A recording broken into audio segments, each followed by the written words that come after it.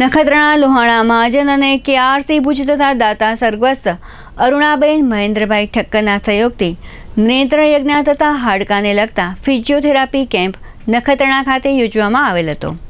નખત્રાણા તાલુકા પંચાયત પ્રમુખ નૈનાબેન પટેલ, કચ્છ જિલ્લા ન્યાય સમિતિના ચેરમેન વસંતભાઈ વાઘેલા, વેપારી અગ્રણી Dineshbhai Joshi Mamadbhai Khatri, Umarbhai Khatri, doctor Ramilaben Jadeja, doctor Babitaben Pawar doctor Damayantiben વાઘેલાની ઉપસ્થિતિમાં ખુલ્લો મૂકવામાં આવેલ હતો.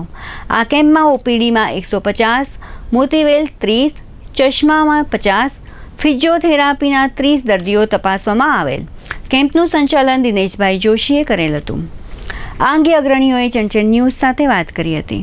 નખત્રાણા મધ્યે દરિયાસ્થાનની અંદરમાં દર મહિને કેસીઆરસી ભુજ અંત મંડળ દ્વારા નખત્રાણામાં જે કેમ્પ કરવામાં આવે છે અને અરુણાબેન મહેન્દ્રભાઈ કટ્ટા એમના સહયોગથી જે આખા તાલુકાના નાના મોટા દર્દીઓ નેત્રયજ્ઞ કરવામાં આવે છે અને કેસીઆરસી તો વર્ષોથી ભુજ મધ્યે એમની સેવા ચાલુ જ છે અને આ સેવાનો લાભ કેસીઆરસી નખત્રાણામાં આપે છે ત્યારે નખત્રાણા અમે સૌ પદાધિકારી એમને આવકારીએ છીએ અને એમને અભિનંદન આપીએ છીએ કે આવા જ રીતે છેવાડાના માણસોના જે પણ આંખના દર્દીઓ એની સારવાર મળે એ હેતુ માટે અમે લોહાણા મહાજનવાડી રાજેશભાઈ પલણ પણ એનો ખૂબ સહયોગી ફાળો છે. એ જ રીતે ત્યાં લોહાણા મહાજનવાડીમાં પણ સત્તર તારીખના એ લોકો રણછોડદાસજીના રાજકોટના ઉપક્રમે પણ કેમ્પ કરે છે.